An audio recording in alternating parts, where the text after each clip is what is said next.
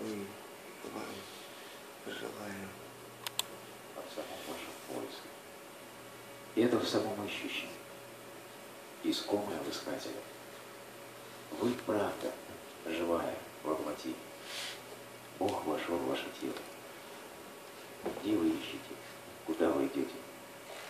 Баулы говорят, ждите, слушайте, идите в новый.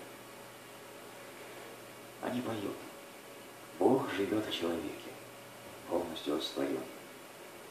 О, мое невидящее сердце, твои глаза не разумны. Как тогда ты можешь поселить в себе сокровище человека? Невидимый человек, живущий в сиянии света, скрывает свою личность от тех, кто ослеплен от запьянения. Он поселился в человеке, появляясь и исчезая, как моргание глаз. Они снова и снова поют. Все мы по-разному думаем о Боге, выходя за пределы ощущений и чувств. И до сих пор только в сущности влюбленности мы находим Бога. На другом берегу океана самого себя дрожит капля воды, как начало всего. Корень всего находится в тебе. Исследуй основное, чтобы достичь сути. Освободи ощущение вкуса на языке. Открой двери чувств для возлюбленного. Нектар, льющийся на лотос спонтанности. Страсть и любовь живут в одном единственном месте. И несчастья и радости не существует. Они верят в человека. Они верят в огромные возможности человека. Они верят, что человек – это усыпальница Бога. Они верят в тело. Ни одна религия, за исключением Никогда не стремилась понять это чудесное появление сознания, находящегося в теле, сознания, обитающего в теле. Все остальные религии остались против тела, отрицающими жизнь, отрицающими тело. Как будто чем больше вы разрушаете тело, тем более божественными вы становитесь, и тем ближе вы подходите к Богу. Баулы говорят, если вы разрушите тело, вы разрушите саму основу. Если вы разрушите ощущения, вы разрушите чувствительность. Если вы разрушите свои ощущения, тогда как вы попробуете его на вкус? Как вы услышите его? Как вы увидите его? Если вы разрушите свою любовь, как вы будете любить его? Если вы разрушите свою страсть, то станете бессильны. У них действительно революционная религия, которую они проповедуют миру. Они очень неграмотные люди, но великого проникновения в суть вещей. Может быть, поэтому они настолько полны проникновения, потому что они неграмотные, потому что они не знают многого описания, и они не знают многого о философии и метафизике. Поскольку они не умеют читать книги, они читают свои собственные тела. Поскольку они не могут понять представление, они пытаются выяснить, кто они есть.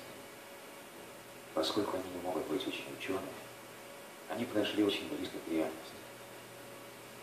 Они подлинные, не испорченное обществом образование. Это очень невинные люди. Их понимание таково. Тело божественно. Тело священно потому что все священно. Но это слово «священно» не очень хорошее. Слово «священный» происходит от корня, который означает «отдельно». В Ветхом Завете Бог зовется священным, потому что Он отдельно от этой реальной действительности. Бы засмеялись. Они сказали бы, вы сошли с ума. Нет отдельной реальности.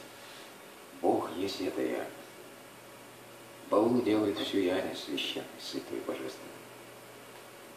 Их видение настолько обширно, что даже материя больше не воспринимается как материя. Даже материя в их видении становится сияющей. Даже тело – это не просто тело.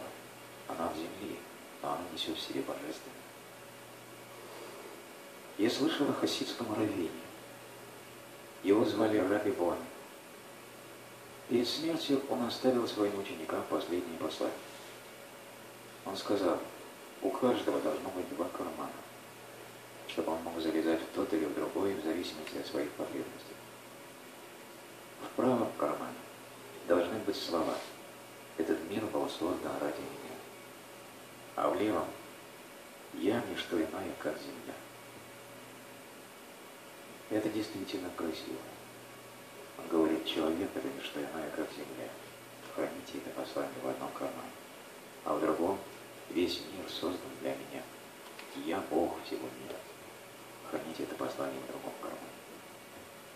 Оба послания верны, потому что одно отражает действительность, а другое показывает возможность. Одно показывает факт, а другое истину. То, что мы созданы из земли, это факт, а истина такова, что мы созданы по его подобию. Мы объединяем в себе и то, и другое, Бога, покоящегося в мире.